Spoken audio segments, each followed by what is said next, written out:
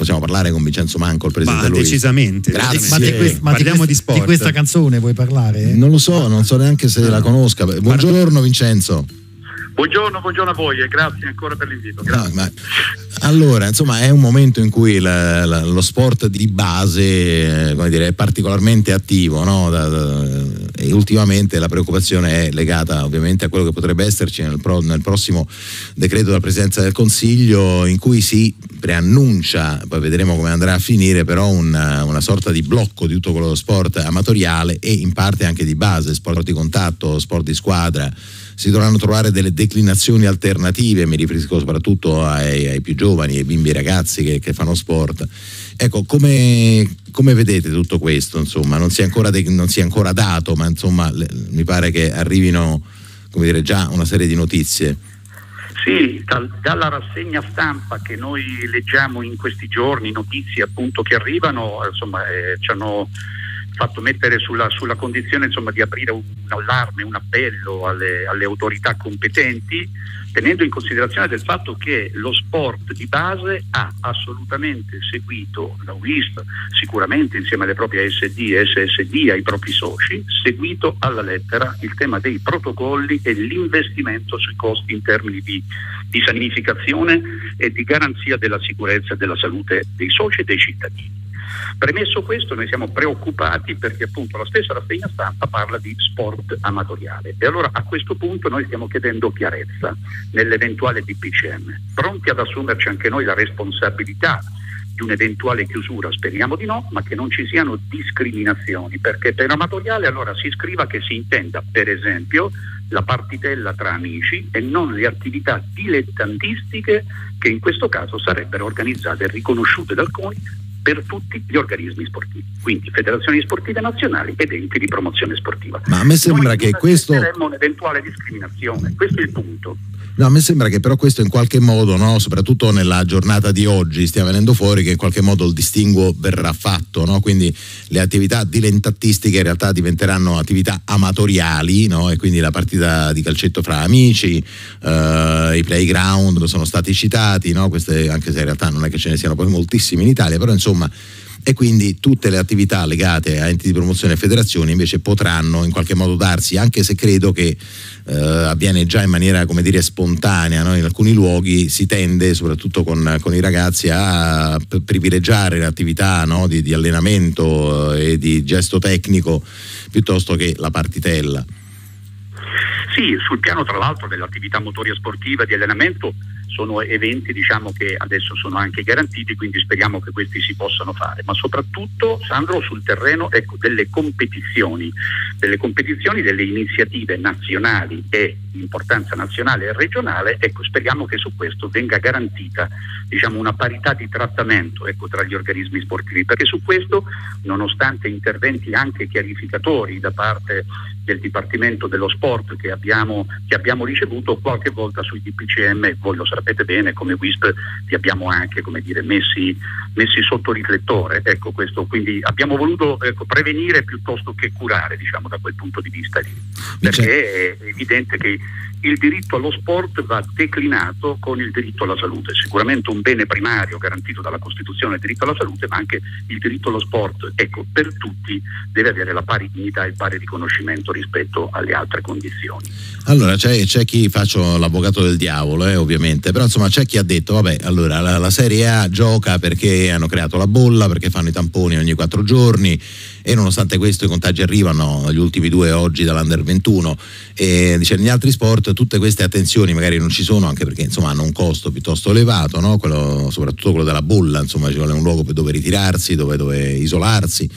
Ecco, tutto questo declinato nelle serie inferiori, declinato nei campionati minori, non parlo di calcio, parlo in generale, può creare delle difficoltà. Allora qualcuno dice ma perché devono rischiare di contagiarsi e poi portare il contagio a casa perché non hanno la bolla, tornano a casa, insomma, no?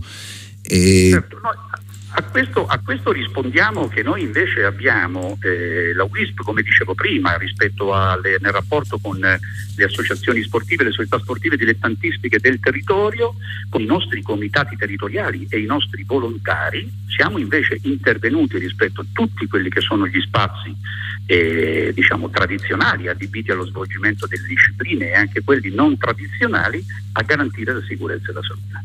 Noi abbiamo, diciamo, interveniamo con l'obbligo di utilizzo dei dispositivi individuali di protezione, rileviamo la febbre, certo va fatta anche qui una distinzione in maniera molto chiara. Noi non abbiamo, a differenza delle società sportive strutturate, ed è qui l'elemento discriminatorio, no? quando ci si chiede il medico sportivo e quant'altro, ma rispetto a ciò che sono le indicazioni del DPCM, noi con i nostri volontari riusciamo invece a rilevare l'autocertificazione, a tenerle diciamo, ben monitorate e a garantire quello che è il tema della sicurezza, perché abbiamo investito delle risorse, anzi spesso e volentieri noi stiamo lavorando nel rapporto, quindi, permettendo l'attività sportiva assolutamente con eh, diciamo, costi non sostenibili, perché vogliamo appunto garantire a tutti lo sport per tutti nel rispetto chiaramente delle regole della sicurezza e della salute. Molte società sportive di base oggi non hanno le condizioni per riaprire molto probabilmente noi su questo apriremo anche una campagna di sensibilizzazione perché questa cosa rispetto ad altri comparti del paese,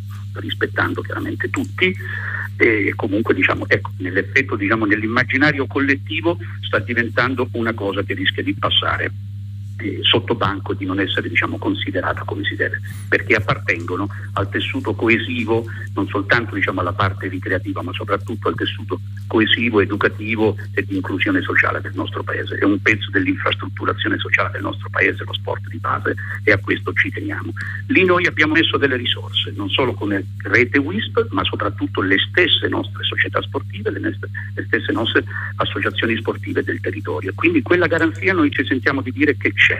Ecco perché rivendichiamo una non discriminazione nel caso di, appunto, di un intervento sull'attività sportiva nel prossimo DPCM. No, no, diciamo che lo sport di base ha già molto patito, le società di base, ricordiamo che il nostro è un paese in cui dire, lo sport, eh, soprattutto dei più giovani, è affidato alle società sportive più che ad altri, nella scuola ce n'è poco, insomma assai meno di quanto dovrebbe, potrebbe, non azzardo a dirlo.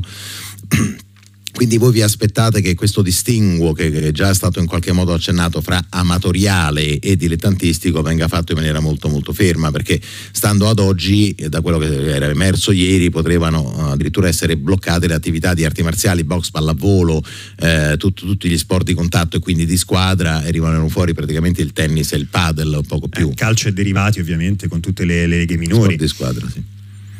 Assolutamente questo. Noi non a caso che nella nostra diciamo, sollecitazione pubblica che abbiamo fatto, il nostro intervento, documento, riteniamo davvero che sarebbe non sopportabile un intervento discriminatorio. Assumiamoci tutti come cittadini e come organizzazioni sociali la responsabilità nei confronti della sicurezza e del punto diritto alla salute del, del nostro paese, ecco perché ciò avvenga, purché ciò avvenga appunto nella eh, dire, pari considerazione in questo caso degli organismi sportivi, perché se si chiude si chiude per tutti, se non si chiude e allora si lasci anche l'opportunità sempre appunto garantendo la sicurezza delle persone, la si lasci a tutti gli organismi sportivi che in quell'attività evidentemente riescono ad organizzarla nel modo migliore possibile in piena sicurezza. Allora Vincenzo Manco, il presidente della, dell'Unione Italiana Sport per Tutti, ci risentiremo magari tra mercoledì e giovedì, vedremo insomma perché quelle sono le date, fra mercoledì dovrebbe in qualche modo essere chiuso il, tutto quello che stanno facendo adesso, si stanno confrontando con i comuni, con le regioni,